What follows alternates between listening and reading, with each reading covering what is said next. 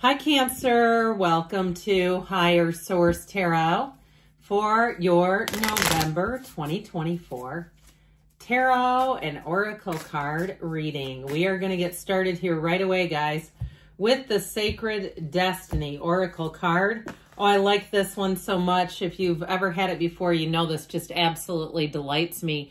It reminds me of the world, the um, ride It's a Small World at Disney World. You have the card of change. But this is a change that's positive. It's whimsical. Okay, there's nothing threatening about this. It's a wonderful indication. Change is on the way.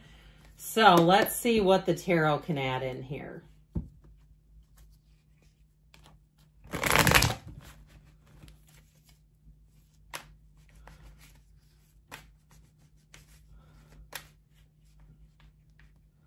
See if we can do that. Okay detailed Celtic cross style reading here.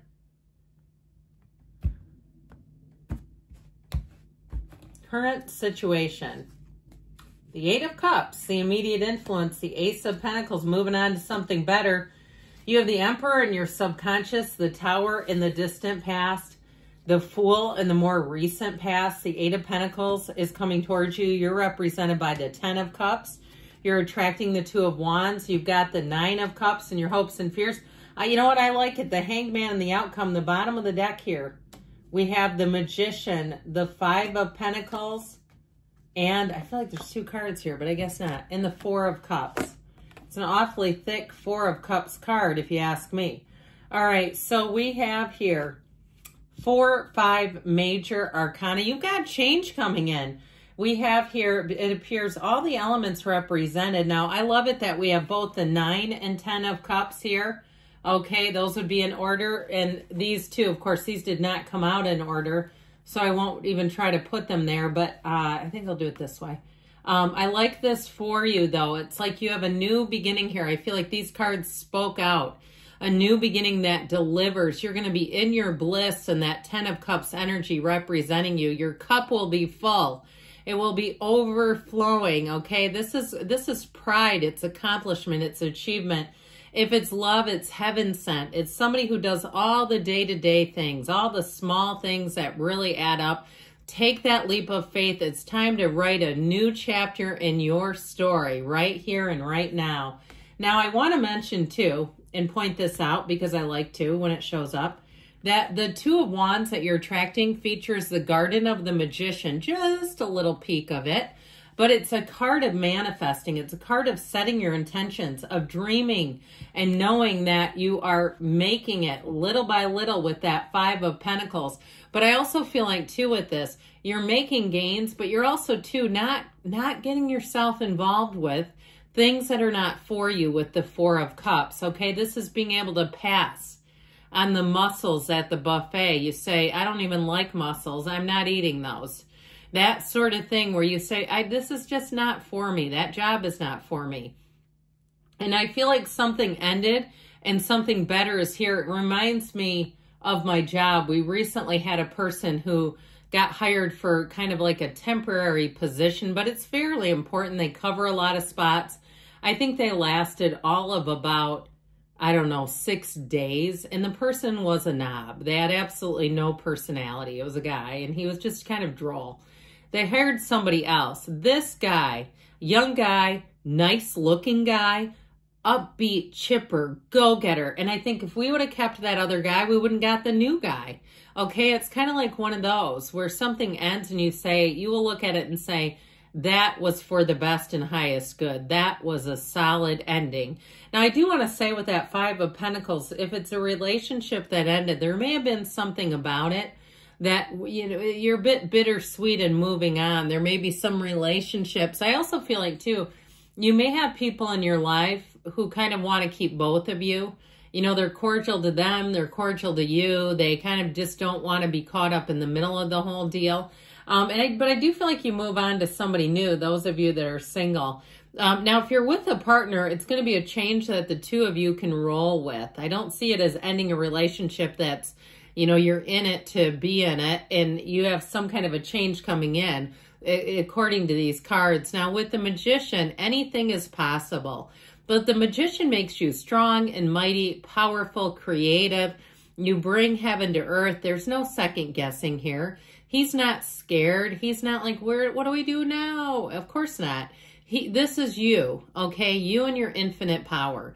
And so I feel like with the job, you have a new opportunity. If you lost a job, I'd say congratulations because you've got something so much better here. I also feel like, too, for somebody, it may be time to start something new with the magician. If you have been considering some sort of a side business, the magician is great for anybody that is a consultant, an entrepreneur. This is a great time, again, for an entrepreneur with this. Or like I said, if you lost a business or lost a job, it may give you that opening where you can say, now is my time to give, give this a shot, give this a whirl. And so with the magician, know that great things will come in. You'll have perfect timing. You'll meet the right people. You'll be attracting the right people. And the ones that aren't, you'll know it right away with that Four of Cups. So with this, I'm telling you what, you are moving on to higher ground. You have the uh, red robe of desire here a few times. You have the hero on the hero's journey. You're a seeker. That's why you're here. You manifested this reading. Now, if you're entering a new chapter such as retirement, and you've wanted a little side hustle to supplement if you get social security or some other kind of income and you say, but I still want to work a little bit. I feel like somebody here has the right position.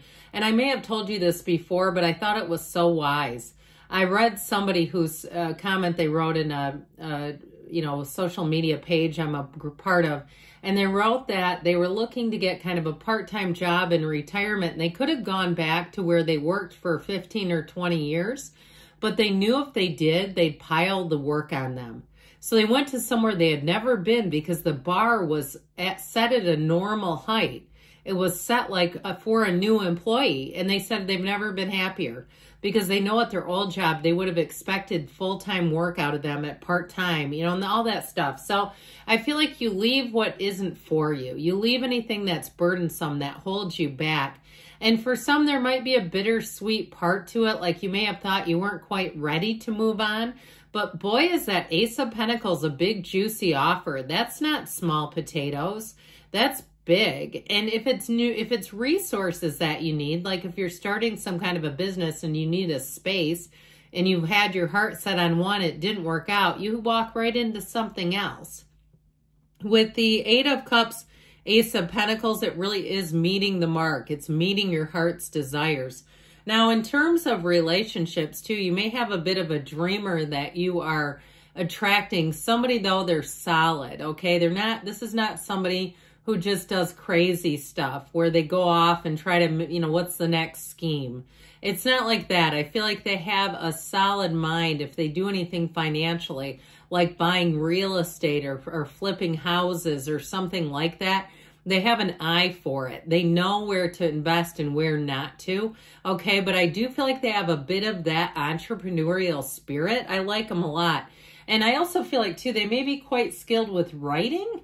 All right, with that Two of Wands energy, there's something about them I really do enjoy. Now, in your subconscious, again, we've got the red robe of desire here. How many times did I say it was here? At least three or four. Well, with this energy, combines passion and discipline in your subconscious. So know that things will be orderly, but they'll still light up your life. This is not boring energy at all. The Emperor is in charge, so things will be up to your standards or they will not pass. This is where you may find you're calling the shots. You're going to be tough in any kind of negotiation. You might also find that you notice more things. You notice more problems, but it's beneficial. There's nothing worse than you get home from the grocery store and you realize you bought dented cans. And you go, oh, great, this is food poison haven. Now what?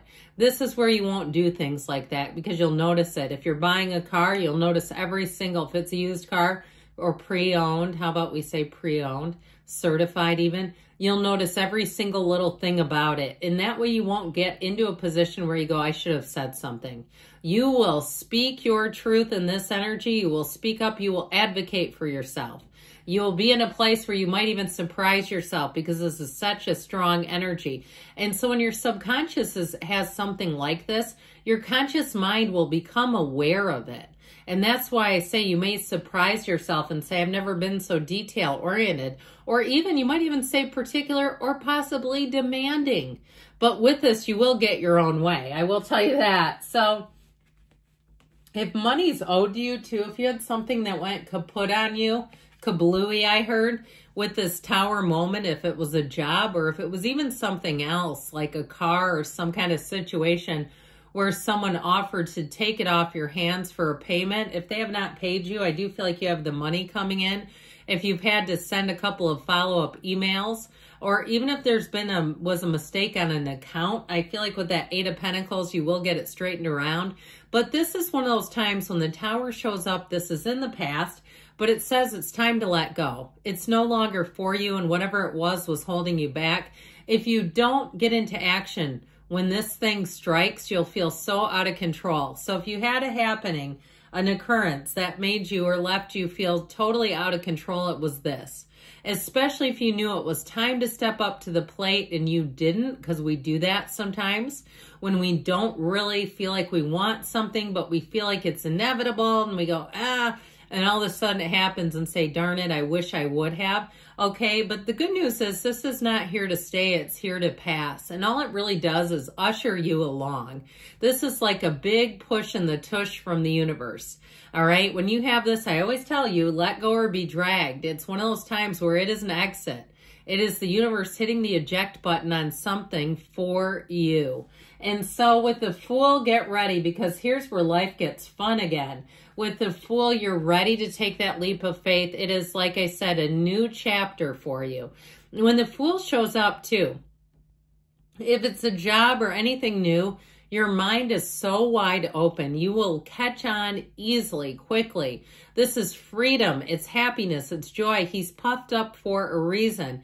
It's great companionship. In a relationship, too, I feel like you have not only the commitment and the passion, but you have the fun and the folly. Okay, who wants to be in something that's just Dullsville? I saw somebody with Blue Moon ice cream. Is that a regional thing? I know you probably don't get it in Europe, or in other across the anywhere if it australia i know there's a lot of people that watch in new zealand so you might be going what is this woman talking about but that's what it looked like it looked like this blue ice cream that we used to have in the united states but either way with that what i feel like they're representing is almost like being a kid at heart because what adult eats that stuff, right? It makes your mouth look like a smurf. I feel like they're saying you have somebody who just helps you relax a little bit. And if that's your current partner, they're showing up here. They have a bit of this energy of the fool. Somebody who's not afraid. Somebody who goes after things. Somebody who is easy about it though, okay? This is not anxious energy. It's freedom. And so it's nice to have this Eight of Pentacles here because it grounds the Fool a little bit so that it's not just mayhem. With this Eight of Pentacles, your focus pays off. Those of you that are owed money, this is going to help. Your follow through will get that check in your hot little hands. In terms of relationships too, though, like I said, it brings a, a grounding energy that will sure help. Now, you're represented here by the Ten of Cups. This Ten of Cups is a fantastic energy for you. It is such a big yes card to whatever it is that you're asking about. It does show it's been some work though. And so like I was saying, I feel like you get a payoff in this next chapter. If it's a relationship, you've got the happy family card. If you're a blended family, it blends smooth, okay? This is one of those times where it just seems like people get along a little bit better. And with the Two of Wands, twos are partnerships, it's passion, it's growth, it's expansion, it's vision. It's having a shared vision and moving forward. So the time is now because this is also an action card. With that Nine of Cups, like we were talking about, you'll be sitting pretty. It's high vibrational energy, but it is a card saying that it's an attainment. So I feel like this is a card where you're attaining, you're getting things. All right, right here. And ultimately with the hanged man energy, the number four is represented here. So the hangman, I feel like, is an epiphany, a light bulb, that aha moment where you see things exactly as you need to be seeing them.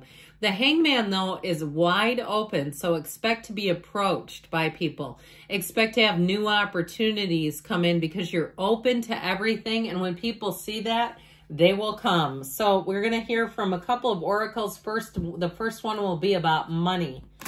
another answer regarding your money questions.